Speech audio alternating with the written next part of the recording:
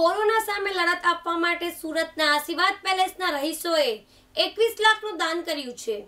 કોરોનાની સામે હાલ જંગ ચાલી રહી છે ત્યારે સરકાર તરફથી રાહત કોષ બનાવવામાં આવ્યો છે, જેમાં મોટી સંખ્યામાં લોકો પોતાનો સહયોગ આપી રહ્યા છે. જ્યારે આરએસએસ તરફથી પણ મોટી સંખ્યામાં સેવા કાર્ય કરવામાં આવી રહ્યું છે, ત્યારે શનિવારના રોજ સુરત ભટાર ખાતે આવેલા આશીર્વાદ પેલેસ સોસાયટી તરફથી પણ એકવીસ લાખ રૂપિયાનો ચેક આરએસએસ ને અર્પણ કરવામાં આવ્યો હતો. આ અવસરે સોસાયટીના પ્રમુખ અનિલ રાઠી ઉપપ્રમુખ ગૌરવ સિંઘવી અને સચિવ કૈલાસ શાહ હાજર રહ્યા હતા. સોસાયટીના પ્રમુખ અનિલ રાઠીએ જણાવ્યું હતું કે, દેશ મહામારીનો સામનો કરી રહ્યું છે અને તંત્ર મહામારીને કાબૂમાં લાવવા માટે અનેક લોકોને સુરક્ષિત કરવા માટે કેટલી રીતે પ્રયાસ કરી રહ્યા છે.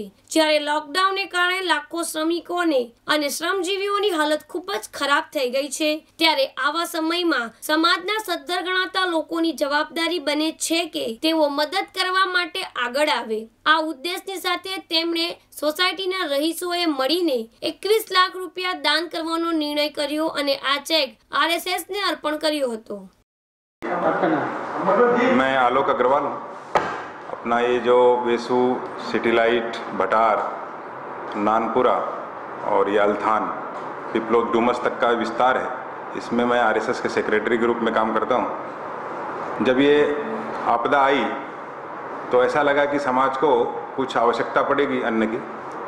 लेकिन प्रारंभ में ऐसा सोचा कि दस हज़ार किट से हो जाएगा। लेकिन ऐसा लगता है कि अभी कम से कम साठ हज़ार किट हमको बांटनी पड़ेगी। तो उसके लिए हमने दो सेंटर सूरत में चालू किए। एक रोंगटा आर्केट अपना वीआईपी रोड पे है और दूसरा सेंटर जाट समाज की वाड़ी सारोली में। तो दोनों सेंटरों पे हम चार से पाँच हज़ार किट रोज़ बनाते हैं। एक किट की कॉस्ट 500 आती है। तो ऐसा विषय हमने सभी सोसाइटीज़ में रखा और आशीर्वाद पैलेस में भी ये विषय जब हमने रखा तो उन्होंने उसको बहुत उत्साह से लिया और सभी सदस्यों ने हमारा भरपूर सहयोग किया और 21 लाख रुपए की एक बड़ी राशि हमको उन्होंने प्रदान की है। इसके लिए हम पूरी सोसाइटी को पूरा धन्यवाद देते हैं। जी नमस्कार मित्र मैं गौरव सिंघवी हूँ और हम लोग आशीर्वाद पैलेस के रहवासी हैं। और यहाँ पे आशीर्वाद पैलेस में हम लोग करीबन 400 परिवार यहाँ पे रहते हैं और हम लोगों का समाज के प्रति अपना उत्तरदायित्व है। तो उसको समझते हुए हम लोगों ने कोविड 19 में हम अपने अपने तरीके से अपने अपने कारीगरों के लिए अपने अपने लोगों के लिए अपने अपने सब संस्थाओं में जुड़े हुए हैं और वो सब तो कर ही रहे हैं। लेकिन हमने सोचा कि जब हम इतनी बढ़िया एक आशीर्वाद पहले सोसाइटी में रहते हैं तो कैसे हम ज़्यादा से ज़्यादा सहयोग सरकार को इस समय पर कर सकें?